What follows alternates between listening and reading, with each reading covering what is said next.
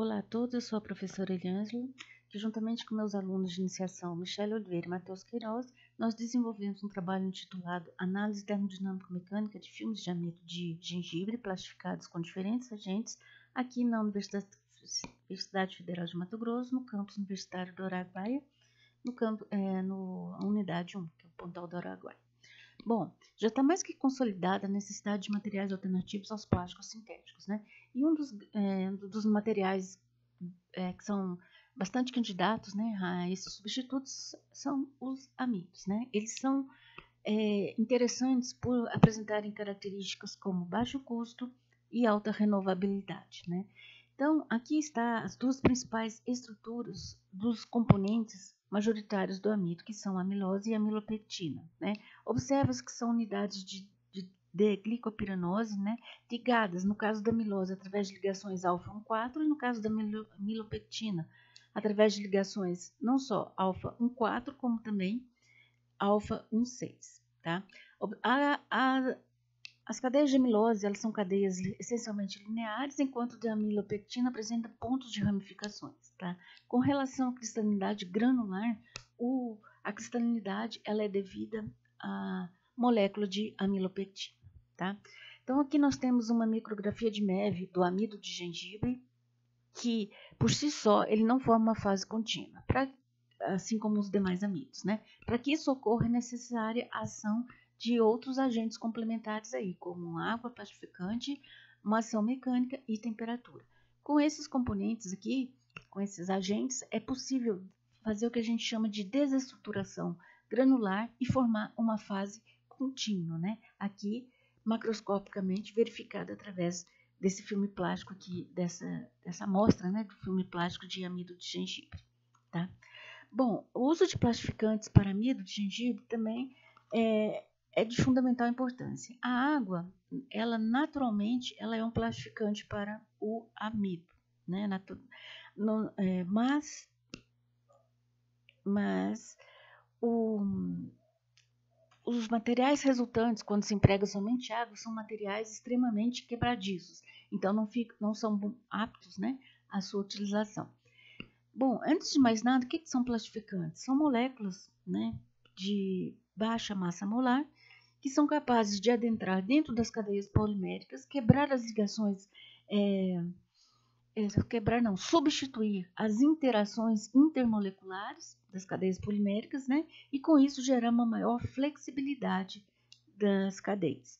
Como consequência, o que? É possível formar uma fase contínua, né?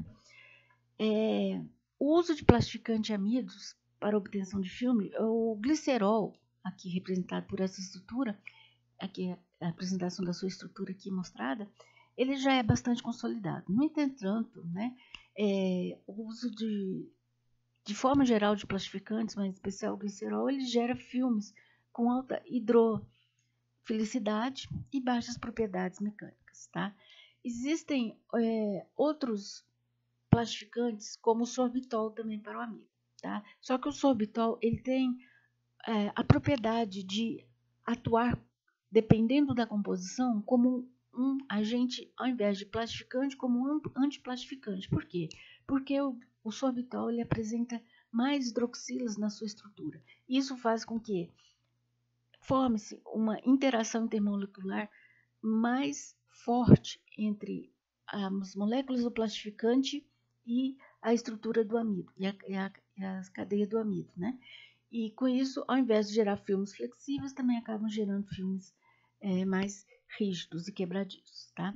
Então, com base nessa perspectiva, nós propomos a avaliação do efeito da incorporação de uma mistura de plastificantes, no caso glicerol e sorbitol, ou amido de gengibre para obtenção de filmes, e investigar a adição do efeito dessa mistura no comportamento termodinâmico mecânico desses filmes. Tá? É, as análises de DMTA elas são capazes de registrar valores é, do módulo de elasticidade em cada ponto, né? Em cada ponto aí que eu estou chamando em cada temperatura, tá? Nesse, nesse tipo de experimento, uma tensão ou uma deformação é uma função oscilatória, normalmente senoidal e com uma determinada frequência, tá? Nós temos que, para materiais totalmente de comportamento elástico, a resposta dessa tensão, com a tensão aplicada, elas são em fase, ou seja, não há um deslocamento da tensão-resposta. No caso de materiais viscosos, existe 100% viscosos, a resposta e a, de, é, a resposta, a tensão-resposta, ela tem uma defasagem de 90 graus, né? No caso de materiais poliméricos, que a maioria deles apresentam um comportamento viscoelástico, existe sim uma defasagem da resposta da ação mecânica, entretanto, essa defasagem ela é entre 0 e 90 graus. Tá? É, informações que podem ser obtidas através até da técnica de DMTA, o chamado módulo de armazenamento ou módulo de perda, tá? que ele está relacionado é, com atenção resposta fora de fase, né? com, é, com a atenção inicialmente implementada, né? E a, o módulo chamado módulo de estocagem, módulo de elasticidade ou módulo de armazenamento, chamado aqui de E', tá? E' ele está relacionado ao quanto que a amostra ela é capaz de é, de é, armazenar a energia implementada. implementada. Já o E duas linhas ele está relacionado à capacidade, quanto é, de energia ela foi dissipada. A razão entre esses dois componentes fornece o chamado módulo de amortecimento, também conhecido como TAN delta. Tá? Esse TAN delta ele nos dá informações a respeito da rigidez do material, é, temperaturas de transição vítrea e, por consequência, também de miscibilidade entre componentes. Tá? É, é interessante destacar que quem relaxa né, no ensaio de DMTA é a fase amorfa. Tá? Então, nós procuramos aqui investigar a influência né, do, da mistura glicerol-sorbitol nas propriedades termodinâmico-mecânica do amido termoplástico de gengibre.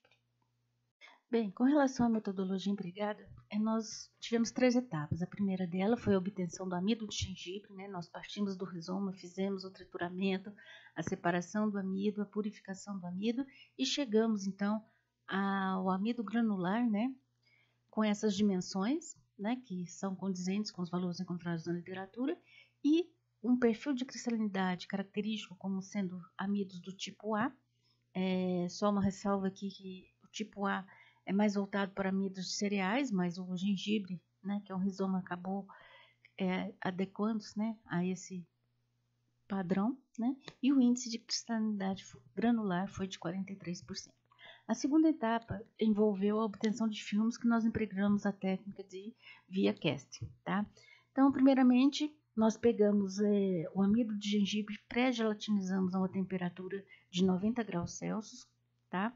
E quando uh, foi observada a transparência né, dessa solução aqui, é, nós é, adicionamos mais água quente no intuito de que formar a nossa solução fumogênica que foi de 1% grama grama, tá? Aqui o sistema, então após essa etapa né, de pré-gelatinização e ajuste do volume, né, é, o sistema também foi mantido sob agitação constante por mais uma hora a 90 graus Celsius. Aqui é a foto da nossa solução resultante, que foram vertidas em placas de polietileno, que após a secagem nos resultou, em uma das nossas amostras, né, resultou esse tipo aqui de filme, né, conforme mostrado. É, aqui ele está um pouco opaco, porque aqui era, foi uma placa com uma espessura um pouco maior do que a usada para as análises de MTA, tá? É, os filmes foram rotulados como F0, onde houve o plastificante usado foi somente água de composição, FG30 com a composição 30% de glicerol, massa-massa, e uh, o filme FG30S30, né? Nós utilizamos 15% de glicerol, mistura 15% de glicerol e 15% de sorbitol, massa-massa, todos com relação à massa de amido seco, ok? Quanto à caracterização, nós Fizemos análise de DMTA utilizando-se né, o modo tração, eh, empregando-se esse clamp aqui. Tiras de placas né, foram cortadas nessas dimensões né, e condicionadas em 25 graus Celsius mais, é, mais ou menos 1 a 53 de umidade relativa por pelo menos 48 horas antes desse intervalo.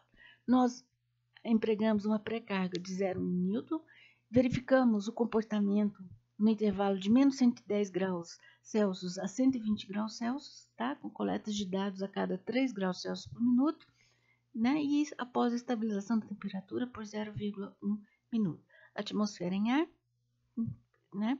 e o modo utilizado foi o modo tração. Bom, gente, como resultado do comportamento termodinâmico mecânico, aqui nós temos a curva do, de log de E' tan delta e log de duas, duas linhas em função da temperatura. Tá?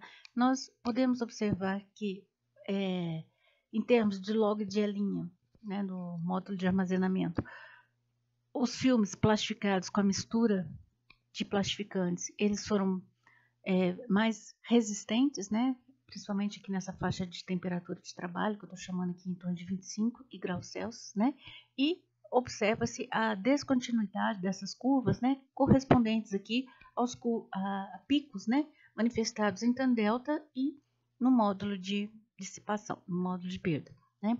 Então, gente, o, já é conhecido que o sistema amido-glicerol é um sistema parcialmente miscível. Né? Isso pode ser visto nitidamente com a presença de duas transições aqui em tan delta, dois picos, né? correspondente à temperatura de transição vítrea do glicerol e aqui a temperatura de transição vítrea do amido. Observa-se com a mistura de plastificantes, o que, que aconteceu?